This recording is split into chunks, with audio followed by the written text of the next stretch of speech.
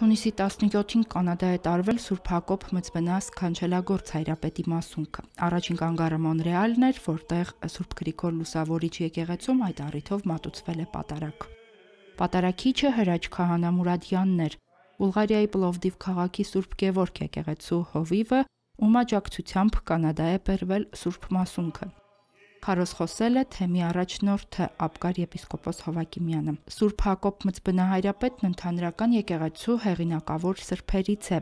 Կատարած բազում հրաշքների համար նրան կոչել են նաև սքանչելագործ։ Վարքագրական աղբյուրների համաձայն նա հայոց առաջին հայրապետ լուսավորչի զարմիկն էր։ Սուրբ Հակոբը թողել է աշխարհիկ կյանքը եւ ճգնավոր դարձել։ Այդ տարիներին մարդկանց թերահավատությունը ցրելու համար որոշել է ապացուցել Արարատի գագաթին Նոյան տապանի գոյությունը։ Նա լեռանգագաթ չի կարողացել հասնել, սակայն հրեշտակները շնորհել են նրան տապանի մի մասունքը։